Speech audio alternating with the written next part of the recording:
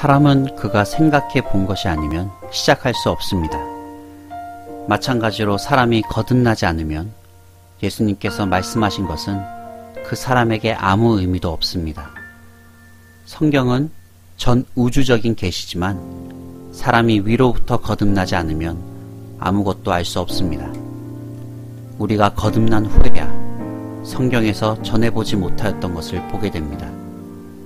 우리는 예수님께서 계시는 영역으로 높이 올려지고 거기서 주께서 보시는 대로 보기 시작합니다. 현실적이란 뜻은 우리의 감각으로 접하는 것들을 의미합니다. 실제적이란 뜻은 우리의 감각으로 접할 수 없는 것이지만 어딘가에 있는 것입니다. 광신자들은 실제만 보고 현실을 무시합니다. 유물론자들은 현실만 보고 실제를 무시합니다. 이 땅을 걸으셨던 분 중에 가장 유일하고 완전한 제정신을 가지셨던 분은 예수 그리스도셨습니다. 왜냐하면 그분 안에서 현실과 실제는 하나였기 때문입니다. 예수 그리스도는 먼저 현실 세계에 서 계신 분이 아니십니다. 그분은 실제 세계에 먼저 서 계십니다. 바로 이러한 이유 때문에 자연인은 예수님에 대하여 생각해 보려고 하지 않는 것입니다. 육에 속한 사람은 하나님의 성령의 일을 받지 아니하냐니 저희에게는 미련하게 보이며 고린도전서 2장 14절 우리가 위로부터 거듭날 때 그때야 우리는 실제 세계의 빛 가운데서 현실 세계를 보기 시작합니다. 우리의 기도가 현실을 바꾼다고 말하지만 기도는 현실을 바꾸기보다 현실을 보는 사람을 바꿉니다. 산상수훈을 통하여 우리 주님께서는 현실과 실제를 함께 다루고 계십니다.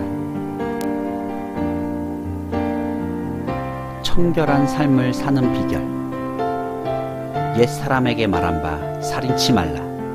누구든지 살인하면 심판을 받게 되리라 하였다는 것을 너희가 들었으나 나는 너희에게 이르노니 형제에게 노하는 자마다 심판을 받게 되고 형제를 대하여 나가라 하는 자는 공회에 잡히게 되고 미련한 놈이라 하는 자는 지옥불에 들어가게 되리라. 그러므로 예물을 재단에 드리다가 거기서 내 형제에게 원망 들을 만한 일이 있는 줄 생각나거든. 예물을 재단 앞에 두고 먼저 가서 형제와 화목하고 그 후에 와서 예물을 드리라. 너를 송사하는 자와 함께 길에 있을 때 급히 사화하라. 그 송사하는 자가 너를 재판관에게 내어주고 재판관이 관이에게 내어주매 옥에 가둘까 염려하라.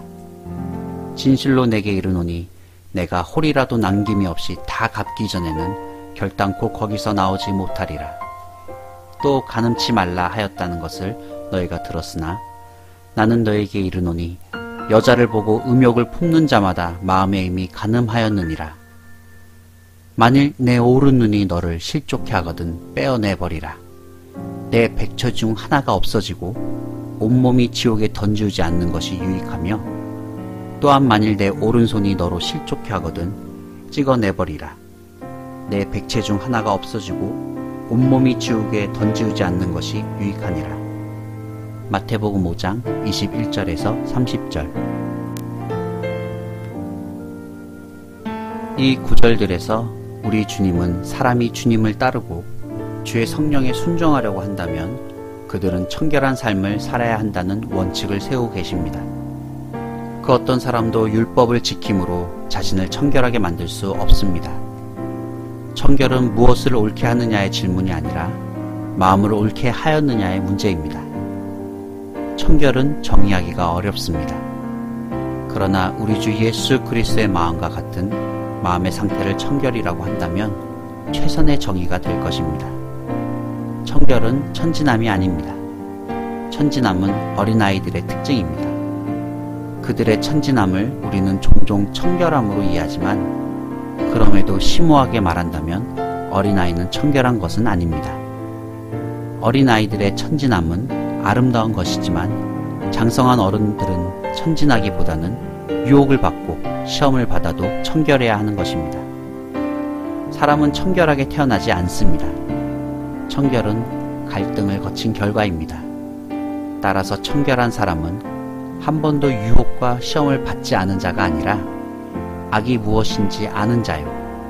악에게 유혹을 받고 시험을 받았지만 악에게 지지 않고 자신의 마음을 지켜 악을 극복한 사람을 말합니다. 덕스러운 삶과 도덕적인 삶도 마찬가지입니다. 사람은 덕이 많고 도덕성이 뛰어나게 태어나는 것은 아닙니다. 도덕은 언제나 갈등을 이긴 결과이지 필연적으로 도덕적인 것은 아닙니다. 예수 그리스도는 내적인 청결과 외적인 청결을 다 요구하십니다. 곧 나의 현실적인 행동, 육체의 정결, 마음의 정결이 전능하신 하나님의 평가 기준을 넘어서야 합니다. 자신의 동료들과 비교하는 수준에서 그들보다 더 청결한 사람이 되려는 사람은 바리새인이 됩니다. 이러한 사람은 언제나 다른 사람들을 속일 수 있습니다. 예수 그리스도는 주님의 구속에 의하여 우리 안에 청결한 마음을 넣어 주셔서 하나님께서 아무 흠도 잡을 수 없게 만듭니다. 이것이 구속의 기적인데 예수 그리스도는 나에게 새로운 유전 형질, 곧 성령에 더럽혀지지 않은 형질을 주셔서 이 형질이 현실 속에서 역사할 수 있도록 하시는 것입니다. 마태복음 15장에서 우리 주님은 제자들에게 사람의 마음이 어떠한지에 대하여 말씀하셨습니다. 마음에서 나오는 것은 악한 생각과 살인과 간음과 음란과 도적질과 거짓 증거와 회방이니 이러한 것들이 사람을 더럽게 하는 것이요. 마태복음 15장 19절에서 20절. 우리는 나는 절대로 그러한 것들이 내 마음속에 있다고 느껴지지 않습니다. 라고 말하며 예수 그리스도의 찔러 쪼개시는 예리하신 말씀보다는 우리 자신의 천진무구한 무지를 신뢰합니다. 분명 예수 그리스도는 인간의 마음을 가장 잘 아시는 최고의 권위자이십니다. 그렇지 않다면 우리가 그분의 말씀을 귀담아 들을 필요가 없을 것입니다. 만일 주님의 말씀을 듣고도 자신의 마음을 살핀 가운데 여전히 결백하다고 의식한다면 나는 예수 그리스도께서 말씀하신 것이 사실이라는 것을 뼈저리게 깨닫는 순간을 곧 맞이하게 될 것입니다. 그때 나는 내 안에 있는 무한한 악의 가능성을 보며 깜짝 놀랄 것입니다. 만일 내가 아직까지 불량배가 아니었다면 그 이유는 겁장이거나 아니면 교양적인 사회 분위기 때문일 것입니다. 그러나 하나님 앞에서 벌거벗겨졌을 때 예수 그리스도의 진단이 옳다는 사실을 발견합니다. 내가 나의 결백함이라는 도피처에 숨어 있는 한 나는 어리석인 자들의 천국에서 살아가고 있는 것입니다. 예수 그리스도의 말씀을 인정하지 않으려는 자들은 언제나 그들 나름대로 어리석은 이유가 있음을 발견할 수 있습니다. 예수 그리스도는 제자들의 마음이 끝이 없이 청결해야 한다고 요구하십니다. 만일 주께서 나에게 주님의 성향을 주실 수 없다면 주님의 가르침은 양만 올리는 것이 됩니다. 만일 주께서 오신 이유가 내가 절대로 될 수 없는 사람이 되라고 말하므로 나를 조롱하기 위하여 오셨다면 나는 주님을 무시할 것입니다. 그러나 만일 주께서 나에게 주님 자신의 거룩하신 성향을 주셨다면 나는 어떻게 내가 청결한 삶을 살 수 있는가를 보기 시작해야 합니다. 예수 그리스도는 가장 엄격하시며 또한 가장 자비로운 구세주이십니다. 하나님의 복음은 예수 그리스도께서 나의 죄를 위하여 죽으셨다는 것만이 아니라 주께서 나를 위하여 주님 자신을 주심으로 나도 주께 나 자신을 드리게 하기 위함입니다.